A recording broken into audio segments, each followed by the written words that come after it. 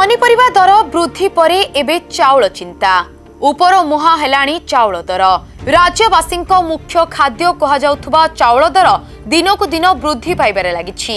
ଯେଉଁଭଳି ଭାବରେ ମାର୍କେଟରେ ସବୁ ଜିନିଷର ଦର ବୃଦ୍ଧି ପାଉଛି ଏହାକୁ ନେଇ ଖାଉଟି ଚିନ୍ତିତ। ଟମାଟୋ ଦର ଆକାଶ ଛୁଆଁ ହୋଇଥିବା ବେଳେ ଏବେ ଚାଉଳ ଦର ବୃଦ୍ଧି ପାଇବାରେ ଲାଗିଛି। ସାଧାରଣ କିସମ ଚାଉଳ ଦର କିଲୋ ପିଛା ଦଶରୁ କୋଡ଼ିଏ ଟଙ୍କା ବୃଦ୍ଧି ହେଲାଣି। ଭୁବନେଶ୍ୱରରେ ସାଧାରଣ କିସମ ଚାଉଳ ପୂର୍ବରୁ କ୍ୱିଣ୍ଟାଲ ପିଛା ପଚିଶଶହ ଟଙ୍କା ଥିବାବେଳେ ଏବେ ପଇଁତିରିଶଶହ ଟଙ୍କାରେ ପହଞ୍ଚିଲାଣି। କେବଳ ଭୁବନେଶ୍ୱର ନୁହେଁ ରାଜ୍ୟର ବିଭିନ୍ନ ସ୍ଥାନରେ ଚାଉଳ ଦର ବଢ଼ିବାରେ ଲାଗିଛି। ଦର ବୃଦ୍ଧି କାରଣରୁ ସାଧାରଣ ଖାଉଟିଙ୍କ ଚିନ୍ତା ବଢ଼ିବାରେ ଲାଗିଛି। ଏହାକୁ ନେଇ ପ୍ରଶ୍ନବାଚୀ ସୃଷ୍ଟି ହୋଇଥିବା ବେଳେ ବିଶେଷଜ୍ଞମାନେ ନିଜର ମତ ଦେଇଛନ୍ତି।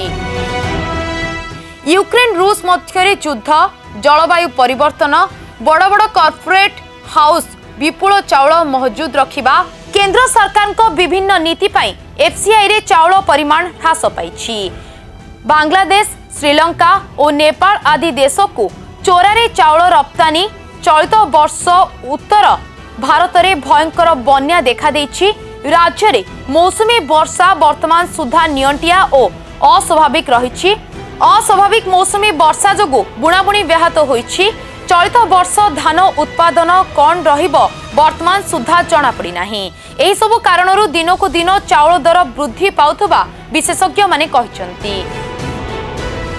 রিপোর্ট নিউজ আড্ডা ওড়শা